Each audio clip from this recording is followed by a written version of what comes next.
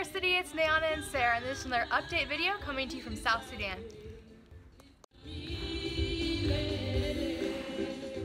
Yeah, we love and miss you guys. We just want to tell you a little bit about what's been happening these past few months and what's going to happen during this year. Yeah, so in December we went to Cape Town, South Africa. It was so fun. We got African braids. Only problem was it did pull out some of our hair, but Yeah. it was super fun.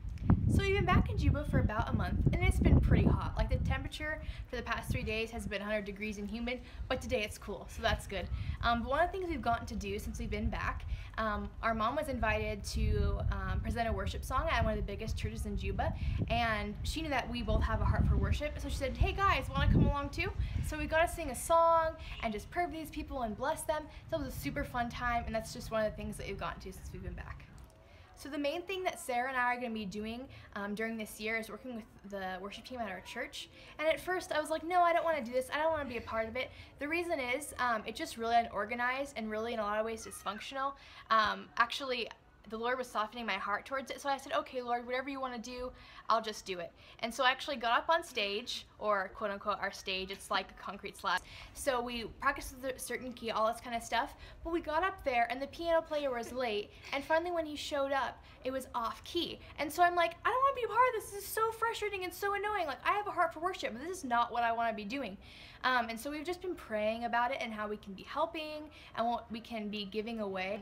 And so even last practice on Wednesday, it was an awesome time. People are actually engaged. They're actually wanting um, to really connect with the Lord during practice, not just sing a song and leave and check out. So that's been super awesome um, because at first I was like, I don't want to do this. Um, but God's really followed through, and so that's really cool. Okay, so we want to give you guys a quick um, preview of our church compound where we're going to be living. Hope you enjoy. Okay, guys, this is our church um, on a Sunday, and these are all our friends and church family. Here we shake hands as a sign of love and respect, so you'll see me shaking hands with a lot of these people. Um, and we just really love being with them. It's definitely a different experience than of the City, but we just really enjoy being with them and living with them. Um, yeah. Yeah, so this is our church. Um, they, it lasted them actually 20 years, but now we've completely outgrown it. God has really blessed them with the funds to start the new a new building. Here's the foundation. You guys can just be praying that they'll be able to get the money to complete it. Okay, so this is the way to our pastor's house, and here it is, and we'll turn right, and here's where we're going to be putting our tents. And this entire time we've been building a septic tank um, to build a bathroom because they don't actually have a real bathroom at their house. And so you guys could be praying that God will provide the funds to finish this bathroom so we can move in.